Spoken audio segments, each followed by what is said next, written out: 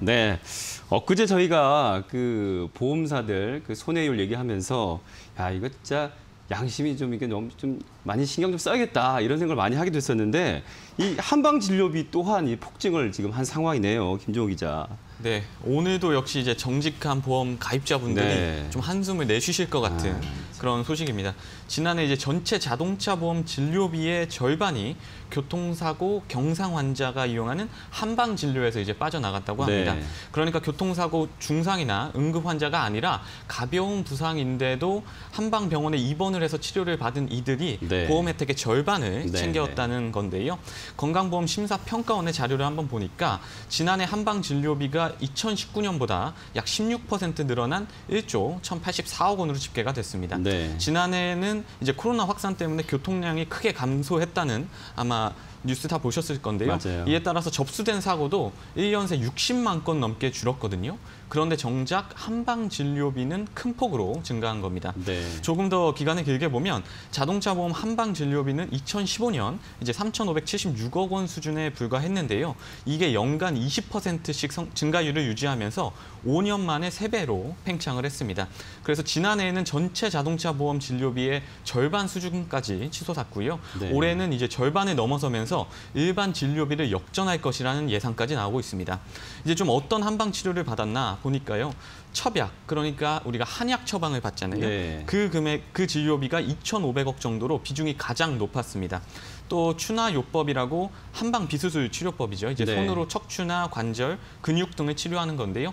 여기에도 한 1,200억 정도가 나갔고 약침에도 1,000억 원 정도의 진료비가 쓰였습니다. 이제 흐름을 한번 정리해 보면 교통사고가 꾸준히 감소하고 있고 또 일반 교통사고 진료비도 정체 상태인데 한방 진료비만 급격히 증가하고 있는 양상입니다. 사실 교통사고로 크게 다치게 되면 한방 병원이 아니라 일반 병원으로 가게 되는데 사실 살짝 다치신 분들이 보통 한방 병원에 가서 길게 입원하는 사례가 많으니까 네. 이곳에서 이제 자동차 보험을 통해 진료비를 상당히 쓰게 되는 거니까 네. 업계에서 이 부분을 놓고 좀 다양하게 좀 우려를 나- 하고 있는 상황입니다. 네. 아마 교통사고 다들 조금씩은 나 보셨을 거예요. 보면 정형외과 쪽 가면 조금 까다로운 느낌이 있고요. 어, 한방병원 가면 조금 호의적인 느낌 없지 않아 있는데, 네, 이런 느낌들이 우리 좀 악용하는 게 아닌가 이런 생각도 들고요. 결국은 유재 기자, 이게 결국 우리가 보험료 인상으로 겪어야 되는 일이 되는 게 아닐까요? 네, 맞습니다. 그리고 여러분들 지금 뭐 인터넷을 보실 수 있는 네. 분들은 한번 검색을 해보세요. 교통사고 한의원. 음. 그러면 정말 많은 이제 광고성 기사들이 있을 텐데 네. 음. 이제 후유증에 대한 이야기가 많습니다. 뭐 사고가 아주 경미했더라도 후유증이 무섭다. 음. 그거를 잡으려면 제대로 된 치료를 받아야 된다. 이런 네. 게 기사가 엄청 음. 많아요. 근데 실제로 한방병원에서 병의원에서는 이런 후유증과 관련된 부분 그리고 자동차 보험을 이용하면 활용하면 본인 부담금이 없다라는 것을 계속 강조를 맞아요. 하면서 환자들을 좀 유치를 네, 하고 네. 있습니다. 그래서 이제 그 과정에서 실제로 이제 과잉 진료가 있는 거 음. 아니야?라는 게 이제 저희들의 의문인데요. 네. 실제 이게 송보협회 자료를 좀 보면 2019년 기준으로요. 이 경상 환자의 1인당 한방 진료비 평균이 76만 4천 원입니다. 근데 양방은 32만 2천 원이거든요. 그러니까 네. 2.4배나 많은 진료비 가 좀 나오고 있는 구조고요. 진료 기간도 이건 이제 2018년 기준인데 네. 한 방은 8.9일, 양방은 5.5일이라고 합니다. 음. 근데 이제 많은 분들이 그냥 한방 병원에서 더 세세하게 꼼꼼하게 치료해주고 진짜 후유증이 없게 해주는 거 아니야? 네. 라고도 생각을 하실 수가 있는데 한 소비자 다- 소비자 단체에서 설문 조사를 했다고 합니다. 네. 이 첩약과 관련해서 비용을 본인이 부담해야 한다면 얼마 기간 동안 치료를 받겠느냐 음, 어떤 결과가 나왔을 것 같습니까? 안 갖고 이렇게 나온 거 아니에요? 맞습니다. 맞아요? 그러니까 뭐 어느 기간이 아니라 네. 아예 처방을 안 받겠다가 어, 60%가 네, 넘었습니다. 다 생각 비슷하네요. 그러니까 내 돈이 안 들어가니까 그냥 진료를 받는 거고 치료를 받는 거고. 음. 네. 그러니까 그런 점에서 이제 문제가 되는데 이렇게 보험금 지급액이 급증하면 이게 보험 손실, 자동차 보험 손실로 이어지고 맞아요. 이는 결국 우리 모두의 자동차 보험료 인상으로 이어지는 거거든요. 네.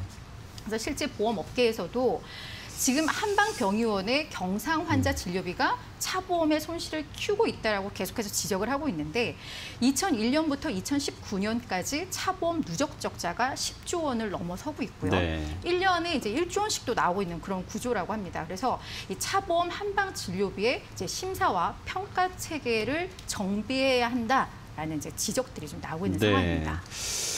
뭐 지금 보험료 관련해서는 우리 선량한 보험 가입자라고 얘기해야 되겠죠. 뭐 이런 얘기 나올 때마다 좀 아, 나는 아닌데 하면서 막 부글부글 하실 거예요.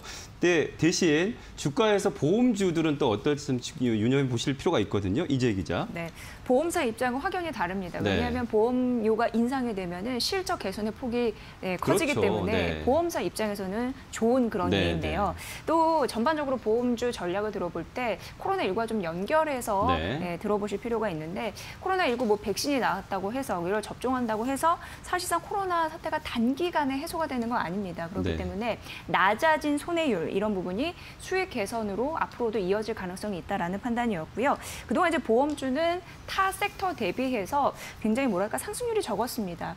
그 트리플 실적 배당 자산 모두 저평가된 그런 부분이 있었는데 보험사의 실적 개선, 주가 상승으로 앞으로는 연결된 가능성이 있다라는 판단이었고요. 특히 보험사는 예전에도 말씀드린 날, 아, 드린 바가 있듯이 금리 상승에 따른 일정 부분 그 수혜주입니다. 왜냐하면 네. 그쪽으로 운용 비중이 높은 특징 이 있는데 그래서 금리 인상 기대감이 높아지면서 관련해서 그런 뭐 수익률이 날 수도 있다라는 가능성이 있습니다.